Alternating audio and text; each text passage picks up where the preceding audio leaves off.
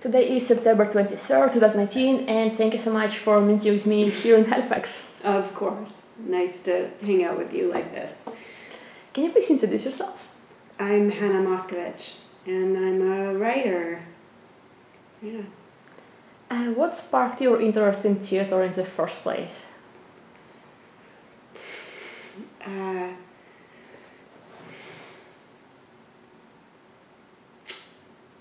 you know, it goes in phases. I think when I was around, I think I was 12 or 13 years old, and I was in London in the UK, and I saw an open air production of Much Ado About Nothing uh, in Regent Street Park. And I loved it so much. That kind of, um, you know, middle school, teenage love that you never get again in your whole life. And I made my parents take me and see it again, I think, or I paid to go and see it again. I loved it. And then when I was in high school, I read a play by Jean Anouilh called Antigone, and I, um, I adored it. And I adored Shakespeare when I was a teenager in particular. Fell in love with Henry V and Romeo and Juliet and Macbeth, Richard III. Yeah, so Shakespeare and Jean Anouilh. You said in one of the interviews that there are almost no dead female playwrights and that we live in a period of discovery of what it means to be a female playwright. So, what does it mean? well, I think that um, you're granted a certain amount of uh, originality just because of what you are, and because so much of the canon is um, male you know, and there are identifiable male structures. So I would say, you know, it's easy to say, you know, it's easy to talk about because there's so many examples about Hamlet, you know, in come the wife and the girlfriend, and out they go, and the mother, and in and out they go, and usually they're just there to complicate the plot for the men. And so any structure outside of that, where women just come on stage to complicate the plot for the lead male characters, is original, more or less. So it's really, you know, and I think um, a female perspective is probably overdue at this point, you know, 5,000 years in, whatever we are. So. And what does it mean to be a Canadian playwright and write for Canadian audience and you know about Canada? Well, I think, you know, Canadians are often, because we have so many cultures nearby who are so dominant, like the US and the UK, um, Canadians are surprisingly underrepresented on our stages here in Canada. Um, you know, and it's different than other kinds of underrepresentation because we're not a marginalized group, we're a sovereign nation. And yet, I think, you know, for Canadians, it's still um, enjoyable uh, to see themselves at all on stage or in any medium. Um, so I think, you know, I, I feel responsible towards that because I am Canadian and I feel like it would be nice if our theater, you know, if our theater represented us. And so I do take that fairly seriously, oddly enough. I mean, I didn't at first. So when I was first writing, I was much more preoccupied with um, just writing a good play and how you do it. And I think as I've gotten older, I've been more interested in uh, writing specifically about Canadians, partly because I've become so aware, because I've sat in so many audiences, that Canadians appreciate it and that it means it's meaningful to them to see themselves represented because so much theater, so much theater is from the US. Like every Canadian has seen a million productions of, you know, Tennessee Williams and Arthur Miller and Chekhov and you know Shakespeare and even and you know contemporary American and British playwrights too. You know we get we are colonial country, theater wise, so it's nice to uh, it's nice to just show Canadians ourselves. How do you find your characters' voices?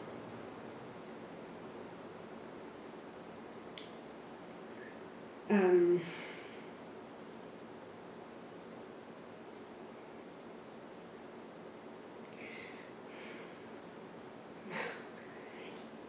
I'm struggling to answer because there's so many ways I could potentially answer that question. Um, I think you know, uh, characters' voices is my generally the way that I am able to access writing, and so for me, characters, the voices of characters and the idea for a piece are sometimes less easy to speak to because I'm more on instinct there. Whereas there are other parts of my craft that I work really hard for, like structure, um, where I'm, I'm a weaker writer. And so I am more aware of how I do it because I've had to learn it, you know, piece by piece and build an understanding for myself. Whereas I think, you know, when I started writing, characters' voices always came and I didn't struggle for that. Um, but I would say, you know, I spent a lot of time trying to build authentic, um, complex psychology, uh, you know, a, you know, a complex, authentic psyche of a character is important to me, with contradictions and with, uh, you know, mm, uh, um, odd behaviors are usually a part of the psychologies and um, actions of my characters. Um, I think you know. I think you know within how I express characters, a lot of my worldview shows itself. You know that I think people are fairly irrational that I think that they are capable of both good and bad behavior, you know, even on the same night. That people are, in, you know, flexible, incredibly flexible, and that there's very little comprehensible about humans. Um, so I'm often trying to show that via my characters. My characters reflect that worldview, I'd say. Um, I don't know if that answers your question really, but I would say, you know, the first thing that comes to me in little fragments is the sound of the character and then from that character I'll get everything else. So it's the hardest. It's much harder to speak to character than anything else for me because it's just so close to how I generate. So characters come first and then the plot, or yeah, always, um, and uh, it makes yeah. I think you know. That's often the case for playwrights for whatever reason, you know, um, because the medium lends itself to big, bold characters and to interpersonal conflict being the sort of source of conflict, unlike, you know, TV or movies where there can be a volcano erupting and that's your source of conflict, right? Or in novels where a struggle with the self can be at the center of the action. Plays tend to be dominated by interpersonal conflict, and so character matters a huge amount. And character and the conf- conflicts between characters dictates action on stage, at least for me. I can't divide character from action. And in fact, what I find is when I'm writing on TV shows where character is less important, I have a I struggle. I can't do it. So character is absolutely I, I can't I can't maneuver or function as a writer without character. Do you use index cards when you write? no. no. I mean no. I just don't. I don't know what I use. I don't know what I use. Not index cards though. Mm, I use a laptop and I use a lot of notes to myself. So like I write sort of endless notes and when I leave a draft I'll have like pages and pages of notes in a side document that I will write to myself about where exactly I'm at and like all my questions and anything I don't know about and anything I'm checking on and any research I have to do and any dramaturgy that's come up and my my notes document will sometimes be the same length as the play by the end. Like it'll be pages and pages, and I'll cross notes out. Like I have a whole system for notation that goes along with my playwriting for sure, but it's all on computer. There's no index cards.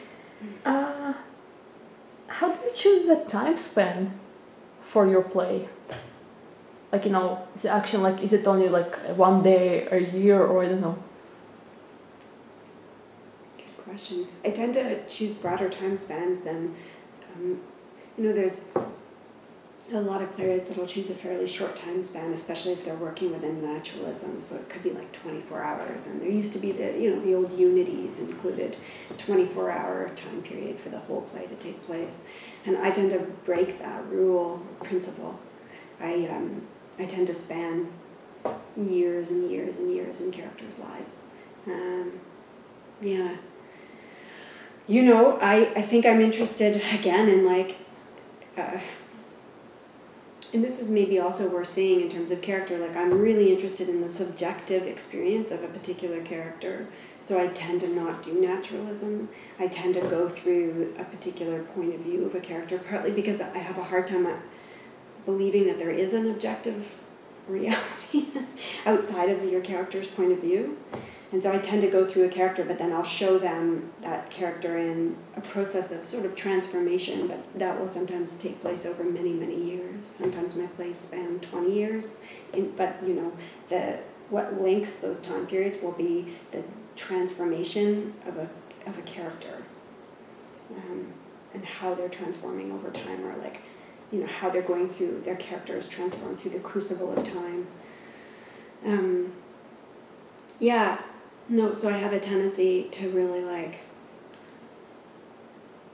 yeah, I have a tendency to um, expand out through time for sure in a way that I think is specific. I mean, some playwrights do it just less. And how early in the process do you know where the action will take place? I mean, you have so many different locations, different countries, and. Oh, me? Yeah. Have you read my work? A little bit. I just realized you probably have. Um, but not everything, so you know. but you would have had to read two things to know that. Um, yeah, I mean, I think it. Um, something else that helps me to work for sure is the world and a feeling of like knowing, of knowing, uh, having a sense of a world. Like so, you know. You know that will come with voice, honestly, or the the character will what will come will be you know, a sense of like where that character is placed in time, and maybe because my parents are um, social scientists, you know, I have a, you know, an, with a character's voice comes their socioeconomics, you know, so it's hard for me to view people outside of circumstance. So character and circumstance are always sort of like um, auto catalyzing in my work. I think you know, I'm, I'm you know I so you know I, I think a person is a, you know a product of their environment essentially to whatever degree you know. And so if i set you know a piece in a small you know german community of ex-nazis living in paraguay that comes with the voice of the character from the get-go.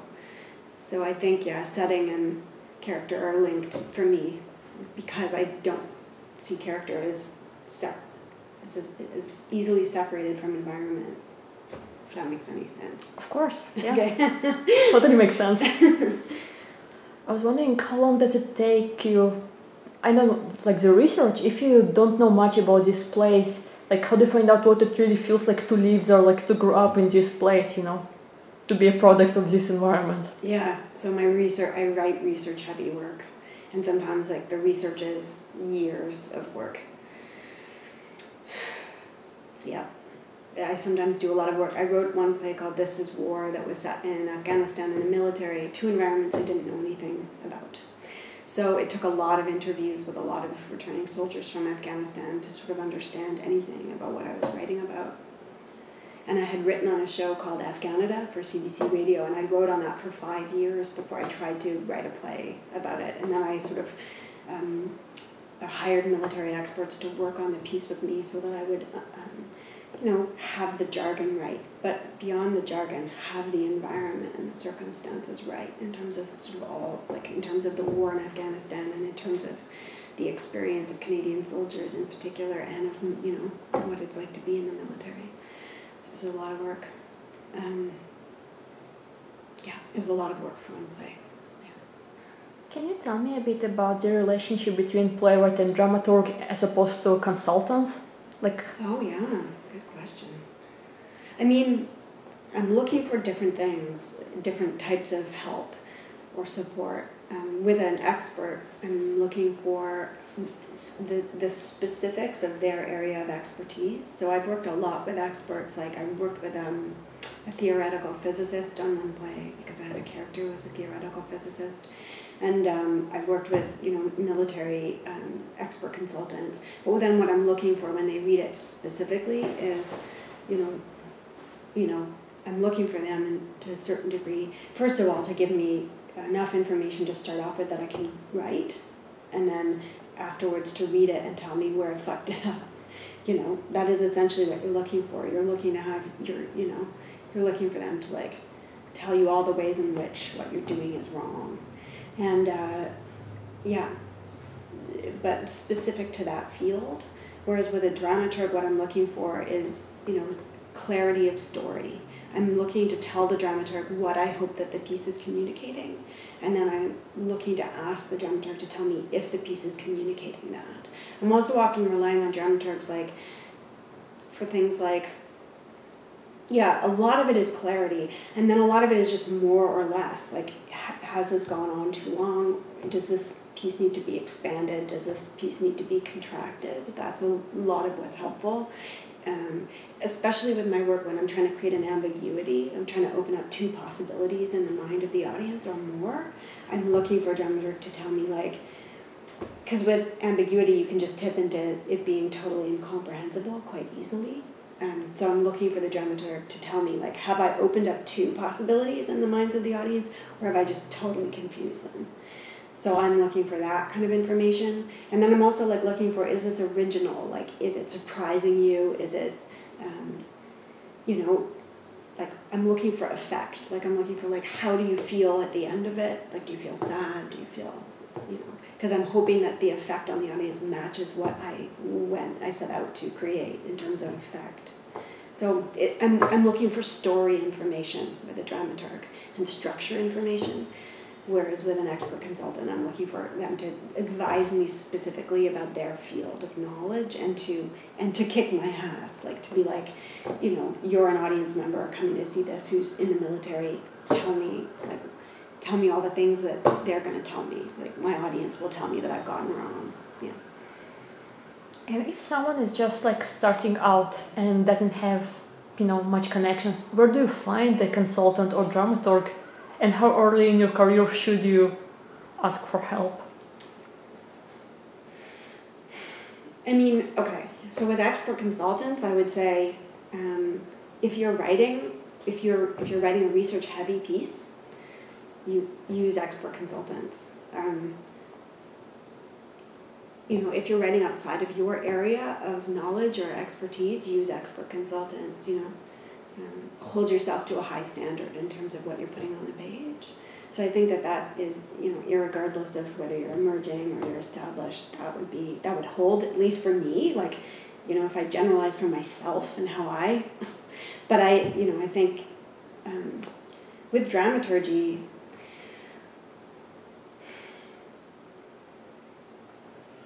I mean, it just depends, right? Like, I like a lot of support it so depends on the individual playwright and how they work. You know, I like to work and get a draft out, and then I want to sit there with dramaturgs and have them tell me like, what have I communicated? What's working? What's not working? You know, I want to I want to hear from people at that point, and I want to do workshops. Some people that's not their way forward. They want to you know, put it in a drawer for a while or just sit on it for a while and then come back to it. And they can kind of almost be their own dramaturg because they've refreshed themselves. Um, and refreshed their point of view about their own work. So I don't know. I mean, in dramaturgy, um, some people write so entirely on instinct, I think, that they don't even necessarily know how to integrate notes. So when they work with a dramaturg, it won't necessarily help them because they don't, they can't, they can't take a set of notes and use those notes to revise their draft. That's just not how they work. They just write, you know, they're just an animal about it. And I think I used to be more like that. I used to be more uh, less methodical. And I'm not actually sure what's better or worse. I mean, in the end, I don't think either is. It's really just whatever makes for a good, a good piece of theater, right? So, in terms of dramaturgy, I think it so much depends on the individual playwright and, and, and their process, regardless, again, of whether they're emerging or established, I would say. Why did you decide to write plays? I mean, you could write books instead or for TV shows. I totally should write books for TV shows, is the truth. I do write for TV, um, so I do that. I've never written novels, pro- probably partly because I'm scared to. um, it took me a long time to master or to feel good about writing plays, like a long time of writing many, many plays. So every time I go into a new medium, I feel a bit like, oh, fuck, I'm going to have to learn how to do this in front of people, and I'm going to have to go through a process of figuring out which of the skills I already have in terms of writing are going to transfer and which are not, and what this new medium is, and what its strengths and beauties are, and where it cannot go as easily. So, but I think, you know, I, there is something about theater that I do really love I, I don't know. It's the first medium I worked in, and so I think it's hard to let go of your first love. And I would say I really do like to sit in live audiences with my work and see the impact on the audience, that there's an addictive quality to that. Whereas with books and TV and radio and other mediums I've worked in, essays, I've written some essays, you don't get that fix of an immediate response from the audience. You sit there with them and you hear them respond and take in what you're what you've communicated. And there's something about that. I I am one of those writers who spends a lot of time sitting with audiences and like um, assessing them and assessing what they're getting and what they're not getting. And I think I'm a like I'm a real theater professional. Like I I work really closely with directors and designers and performers. I work with sometimes the same directors, designers, performers over and over again to try and craft something on stage that will communicate a specific way with the audience and I'm less about the pages and more about like is it working when it's up on stage. So I'm much more oriented towards production than I am towards text. And that's not necessarily true of other playwrights, you know. It's a medium where there's like a broad range in terms of playwrights and how they deal with it and what they view as the art. So I don't know, I mean I I like to write in other mediums, but I do always come back to theater, I think, you know. Yeah.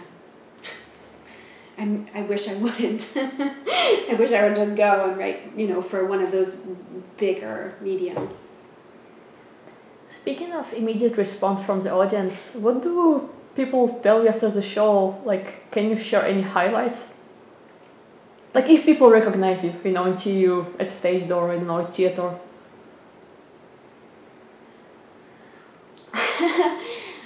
it's a hard question to ask a Canadian because then I have to praise myself and I can't do it. I have to admit to the nice things people have said. Um, I mean, I put on a show not that long ago, um, and it, it actually doesn't have a text. Like, it, it does, but we would never divide the production from the text, and it's called Secret Life of a Mother and it premiered in 2018 at Theatre Centre, and it's a co-creation with me and Maev Beaty and Enrique and Miranda De Beer. And um, it's a confessional piece, like it is about myself, and Maev Beaty, who is a performer, she plays me, she plays Hannah Moscovitch. And she, tell, she tells you, as me, about motherhood. And uh, I would say like that that that piece has had maybe the most obvious impact on the audience that I've seen like where I you know I can stand backstage and see that everyone I can see them all sitting there crying and talking so that one's really moving because I can really see people just um, like de- like devastated in the audience because I can stand backstage and just watch everyone at the end of the show because of the set so I'd say like I think in that case it's just because I've said a bunch of stuff that's taboo that women don't normally um, talk about. And so that has an impact on the audience just to have said those things to them. What is it like to collaborate with your husband? All your questions are making me laugh. I laugh every question you ask. Um, is it a good thing or? No, it's good. Okay. Because they're like good, hard questions. Um, I, I mean, I'd say that the good side of it is um, that he's talented. He's really talented. Really good at it. Uh, good at everything. Good at all the parts of it. You know, and I think directing is a composite skill. You have to be good at a bunch of different things, and you have to be able to synthesize your ability to be good at all of those things into one vision Writing feels like less of a composite skill. There's some composite elements like researching and then you know writing and then can you revise based on notes. There's some composite elements. Working with actors, you know, being having enough of an even temperament that you don't fucking freak out and yell at everyone. I don't know. There's a couple of things you need to be able to do to be a playwright. But directing feels super composite, and so it's rare to find a director like Christian who is good at all the things um, uniformly. Um, really good at lighting, really good at sound, really good at working with performers, really good at having a vision for the piece and creating an event. Um, that's the upside. the downside is working with my husband, but I'm addicted to it, and I think because because he's talented, and so it's hard for me to let go of. He's so talented that I can't not work with him. But I would like to not work with him because because it you know it like you can now you cannot like you the, all of the struggles from work transfer to the personal world. And when you have a child you know you're just in a chaotic mess of work and personal life being all intertwined together. And also when we're both work like we have a child together. So like our son is there. And if we're both in tech that means our son is not going to see us for those 16 hour days because we're both in tech at the same time. So it has, like, literally, there are logistic challenges with having a child with your director that are surprising and not necessarily what you would think. But also, if we both work on a show, say that's in Victoria, we have to take our kid out of daycare and go to Victoria with our kid and set up daycare there. It's just a nightmare. Don't work with him. it's a nightmare, but I keep doing it because I think I, I he's good at it. He's just too good at it for me not to. Is there anything you would like to talk about? We have about like eight minutes left. no. no, I can't think of literally anything. Well, I mean, um, no, I mean, I can never think of things that I want to say off the cuff, honestly. I'm a writer, so I can't, I never, whenever anyone asks me that, I'm always like, no. Is there anything you wish you knew when you were just starting out?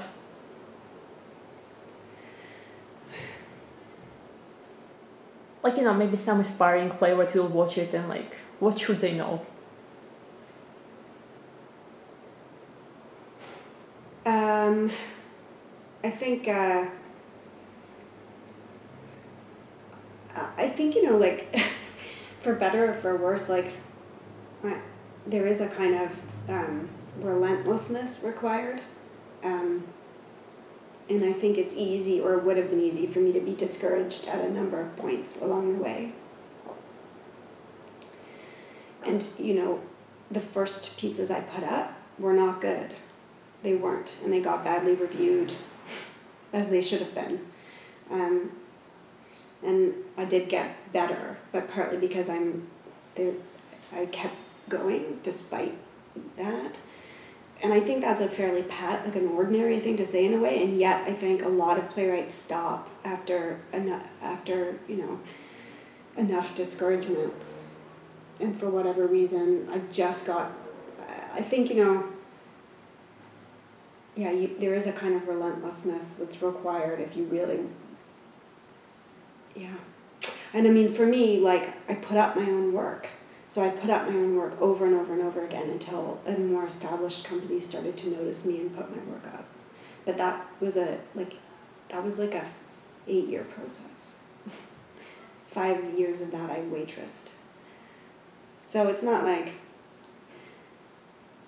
I guess I would say that. Like it takes a while and it's okay for it to take a while and it's okay to write badly at the beginning and in the middle.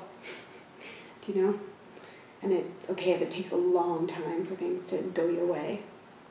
It's normal. I was 29 when I had a, my first professional production, and I've been trying to be a writer since I was 18. So, there you go. Are there any psychological tricks that help you to write? Yeah, lots. I think, you know, writing is hard honestly like um, but the main source of difficulty is mental you know like it's a bit of a mental game um, you have to convince yourself that you can do it daily um, and I sometimes think that there's like an odd, you know, quality that athletes have that's similar. Like you have to convince yourself you can go out there and score. You can go out there and like hit a home run. You can get that puck in the net. Canadian. I should use hockey. Um, you know, you you have to have a certain amount of confidence. So honestly, I think like the mental game is all about confidence and having confidence that you have something to say that you, what you how you think about the world is original and meaningful and so like figuring that out like what you what what the point of all of this is for me that was important. But then i have like ugly tricks. Listen if my writing's going badly i'll drink a lot of coffee. I'll i'll come five o'clock you'll watch me open a bottle of wine. If i have to keep working um, i'll do that.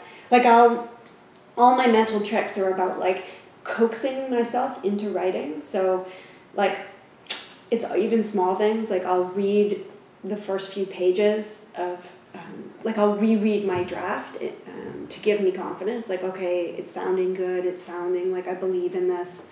Or I'll sometimes, like, I'll just t- say to myself, you know, just open the document. You don't have to work on it. Just open the document and then I'll just work. But it's a good mental trick to make myself do it sometimes I'll be like, I'm just going to research. You know, if I've gotten scared of a draft or I'm scared it's not going well, I'll just do research until, and then I'll slowly get myself to start working on it. So I'll use like basically any, I work with my own fears and my own need for confidence a lot. And I'll do a lot of work psychologically to like get myself there. I bribe myself a lot. Yeah. And the last question. how do playwrights get paid? Like not how much, but like you know how. Oh yeah. Um, uh, well, so um, a lot of the time I'm working on commission, and I find that helpful because there's a deadline or there's a set of deadlines attached to the commission. So. Um, uh, the commission will range in amount, but you know these days I would say I mean I'm I've been at this a while, but I would say these days um, in the ten to fifteen thousand dollar range for a commission. So that's money for you to write the play before anything's happened, and that's money you'll keep no matter what. Um, it's not an advance; it's a commission, so they're paying you to work on it. Um, unlike a novel where you usually are getting an advance against royal, uh, royalties, future royalties. Um, and then the next way that you get paid is some theaters will compensate you for your time doing workshops and then of course royalties. And so if your play, uh, when in, when your play premieres, you'll you'll get paid, you know, a certain amount as a guarantee for the size of the theater you're in, and then should your play sell beyond that, you'll get ten percent of the box office, and then should your play go on and do well, have five or six more productions or more, then each time it goes up, you'll receive royalties for each production. So that's how I get paid. trying to think if there's any other elements. My, my plays are published, so if so I get royalty checks for the, my published work as well. Um, yeah, I feel like there's something I'm missing. Like there's some other element of being paid for being a playwright I can't think of, but that's the main way. well, thank you very much. Yay! Thanks for talking to me. This is the end of the interview. Thanks.